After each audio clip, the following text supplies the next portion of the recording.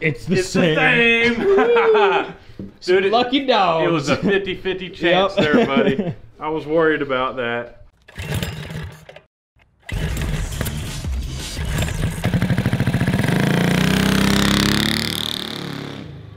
Isaac, what's up, man? What do you have for us today? All right, man. You see the pretzel in the head? Oh, I see the pretzel in your head. It's all good. um, what it- what we're gonna do today is make the rear motor mounts or transmission mounts in this case.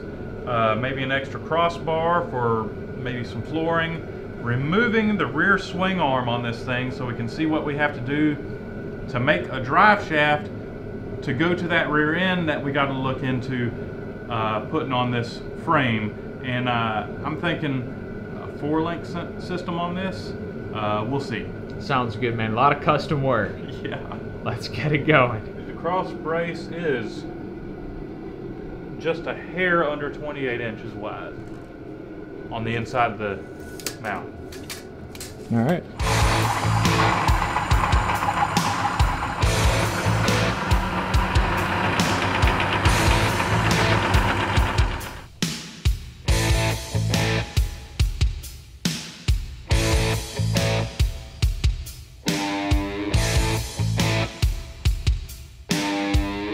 Your motor mounts look good, man. Cross member looks good, but it's a problem for our feet.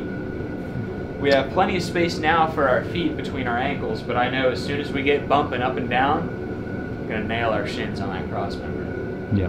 My knees catch it on the cross cart. Yeah, and we don't want to deal with that again. Nope.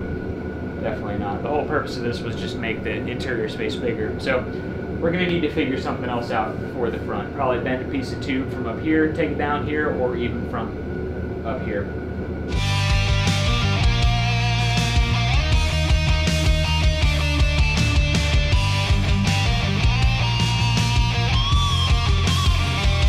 That is looking so cool, dude.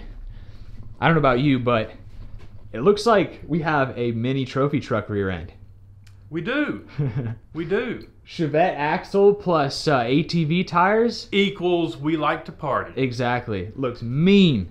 So you are getting close to uh, being able to weld in that rear motor mount support for the transmission, et cetera, et cetera. Yep. And uh, I'll go ahead and start mocking up the rear end.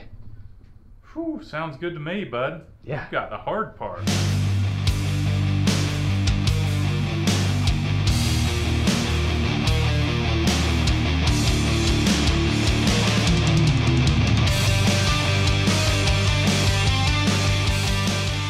I have to say that looks nice. That engine's not going anywhere. Uh, it's a, it's a, not quite as nice as I was hoping for. I mean, this is our first time doing a build, like trying to bend as much as we can. Well, yeah, uh, we're running into all kinds of problems because the engine is so massive. We're having to cut corners in other areas for foot room and all that stuff. Yeah. And yeah, to make that pipe so narrow for foot room, I, I almost missed the uh, transmission mounts. It's all right. So it's not as pretty. No, it's all right, man. So, Mm-hmm. next thing to do is to take that rear end housing off of the transmission to see what kind of drive shaft we have. Taking the swing arm off. That's right. So we can see how to adapt it. You, to are the you Chevette. sure? Are you sure you don't want to put the motorcycle wheel here right now, and then do the front suspension to have a Test and reverse purposes trike? trike.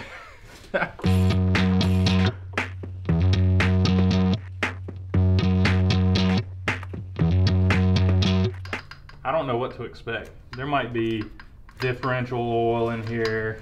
I don't know. Yeah, it's funny how we got like half a chassis built. We hung the engine and everything, and we're just now figuring out. I know. Like, how I mean, we're just we're trying to hurt ourselves here. Yeah, we might be uh doing an engine swap before this thing ever gets going.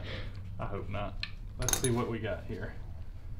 Okay, remember I think what we have is going uh, going to be a flange shaft here going into this housing here. That's just a guess.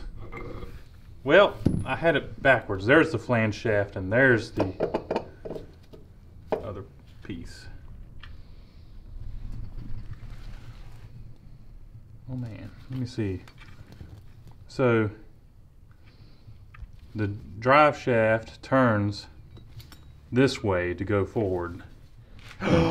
it It's the it's same. the same. Dude, it, Lucky dogs. it was a 50-50 chance Yep. there, buddy. I was worried about that. Can you imagine putting it in first gear for the first time and go to take And off go and backwards? it goes backwards? so if anybody needs a uh, K100 rear diff, give us a call. This threads into this housing, and when you get it screwed in and some snug, snug stuttering, you put the lock nut on there and lock it into place. oh, gotcha. So Interesting. yeah.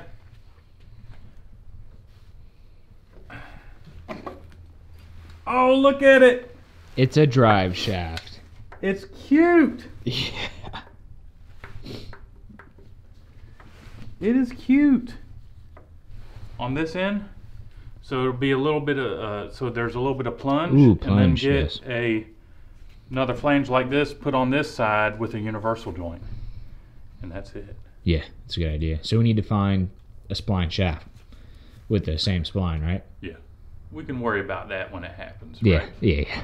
Okay, so now that the drive shaft is there and I'm happy with what I see, I think what we need to do is line up the rear rear end, make some cross braces, and see about starting bolting in this rear end in this frame. Sounds good to me. So we need a cross member for around the drive shaft area, and then we also are going to need to cut out this back section here, so this pumpkin has room to go up and down. Pumpkin. Remember the show Punkin' Chunkin? Oh, I love that show. I know. R.I.P.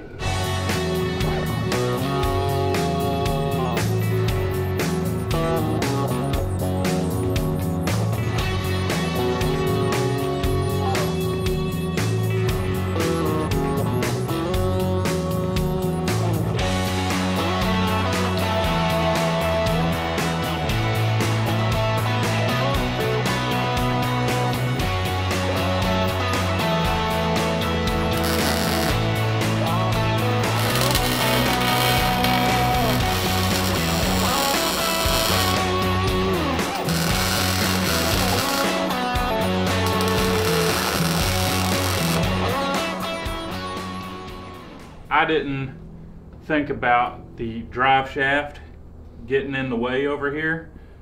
If we had a independent rear suspension, we wouldn't have any problems. But we're gonna have to cut out a section in this bottom frame to allow the rear diff, drive shaft, and all that stuff to move up and down freely because we're going for a lot of um, Travel. travel on this this rear end. So uh, I'm going to cut out that spot, and we might add a little hump later. Uh, I added these extra braces just to give a little bit extra to keep the bottom of the frame to flex out and stuff. But I feel like later we'll we'll add a little something extra. So let's get to uh, sawing, dude. Yeah, sounds good. We have that rear end mocked up as well. Uh, we have the tires just under nine inches up in the air, so that's just to simulate maximum uh, compression on this. So we're going for about nine inches. It just what happens to be what we stacked on the road. so nine inches of compression, and then And then there's probably going to be another nine inches of uh, Decompression. Travel. Yeah. so plenty of travel. Yep.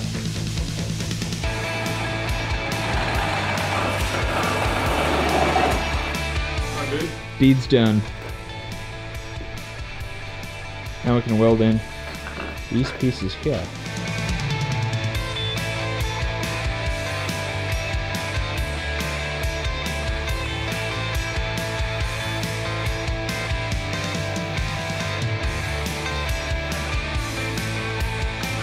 My man Isaac over here is starting to get emotional.